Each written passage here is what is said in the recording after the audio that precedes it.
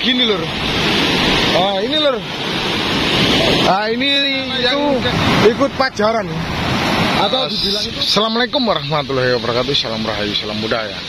Salam sejahtera bagi kita semua. Om Swastiastu Namo Buddhaya, salam kebajikan. Nah kali ini kita berada ini menyusuri ya.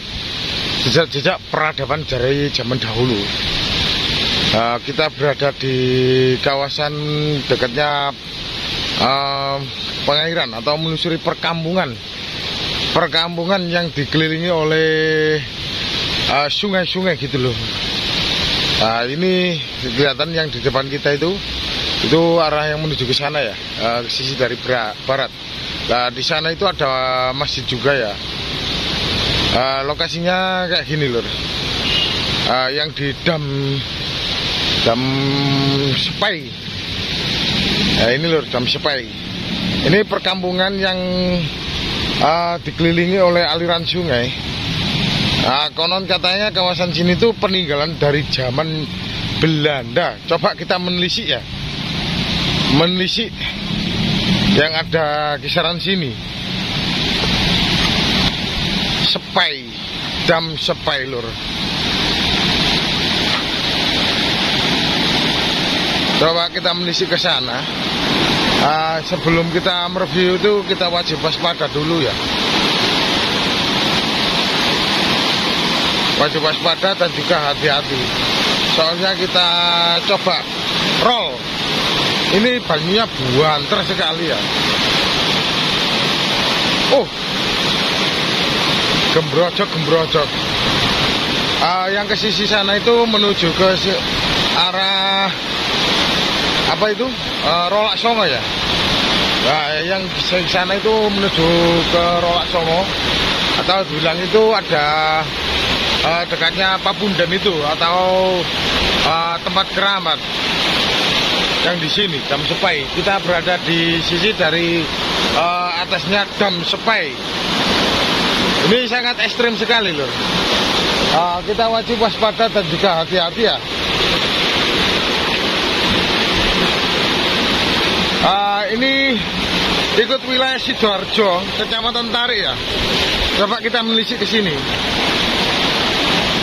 Oh, banyunya buanter sekali, Lur. Ini buanter sekali. Ini buanternya kemeritik-kemeritik kayak gini, Lur. Oh, ini, Lur. Oh. Ini yang sisi ke sini mengaliri ke uh, arah sana, Lur. Membuang ke uh, pabrik PT Ciwi Kimia. Ini perkampungan yang dikelilingi oleh Eh, sungai-sungai uh, gitu.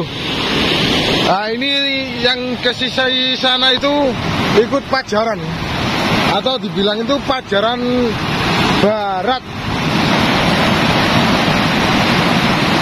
Nah yang pajaran timur juga dikelilingi oleh eh, sungai-sungai uh, lur.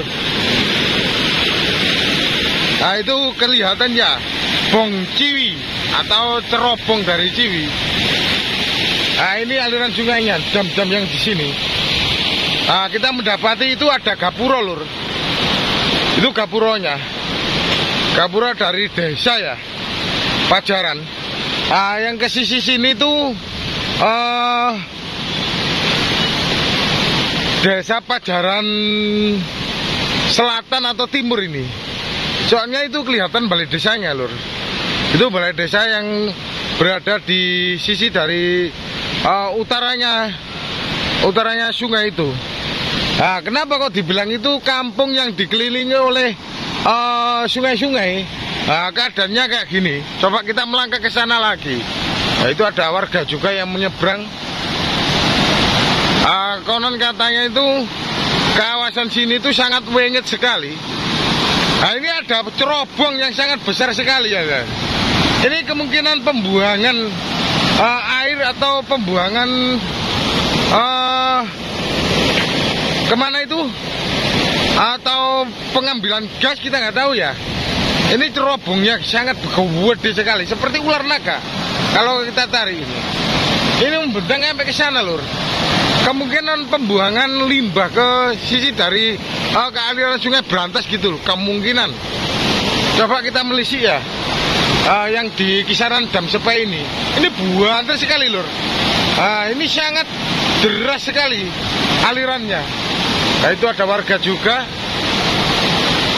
Katanya itu memang wengit lur. Katanya. Soalnya dekatan sini tuh uh, peninggalan dari zaman Belanda gitu. Nah, ini coba kita melangkah ke sana yang menuju ke aliran dari uh, Sungai Berantas. Nah, ini ada perahu, Lur. Perahunya di apa? Perahunya di cancang gitu. Coba kita dekatkan lah, Lur. Seandainya kita pakai perahu ini, uh, uh, enak ya, Lur ya.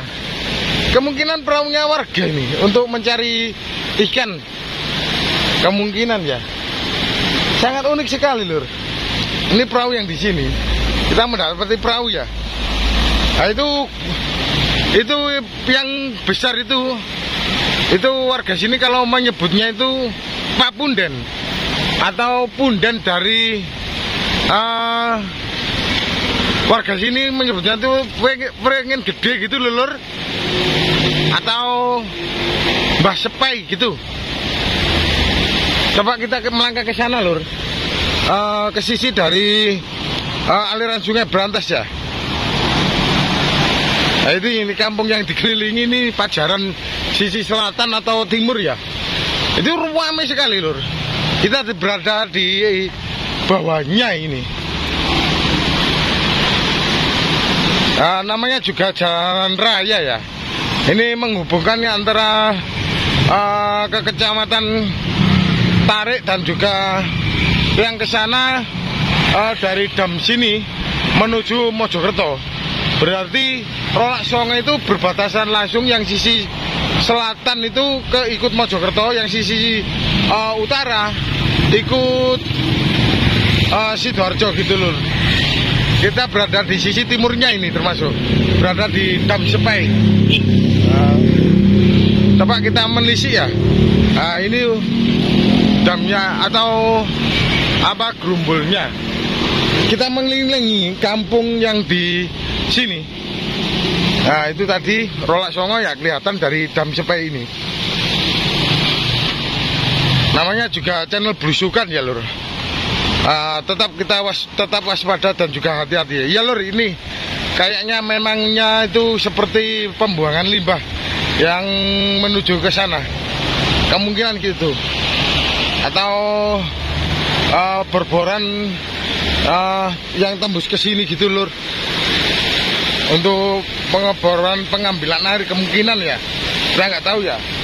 Ya yang sisi sini itu ini juga airnya gembrocok ah, gembrocok-gembrocok gitu lur itu perkampungan yang dikelilingi oleh aliran sungai ini uh, situasinya kayak gini ternyata kawasan Dam Sepai ini memang sangat indah sekali sangat cocok buat edukasi ya terutama itu uh, edukasi apa uh, dari uh, dayung gitu lur Kayak buat wisata dayung sebenarnya sangat bagus sekali ya.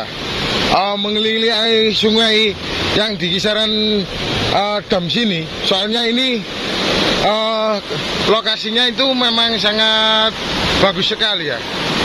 Ternyata memang indah sekali yang di kawasan sini. Nah ini uh, coba kita melangkah ke sini lur. Oh ini tadi yang kita shot tadi ya terutama itu dari uh, Bung ini ya sangat indah sekali perkampungan yang di kawasan sini itu sangat adem sekali uh, yang mengelit yang dikelilingi oleh sungai-sungai uh, gitu. Kita berada di atasnya jam ini.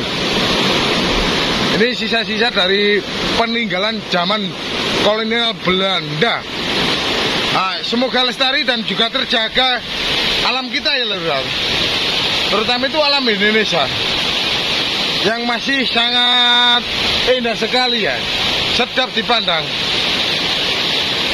Hari kata Rahayu salam budaya mari lestarikan alam Nusantara dan juga leluhur Nusantara Wassalam.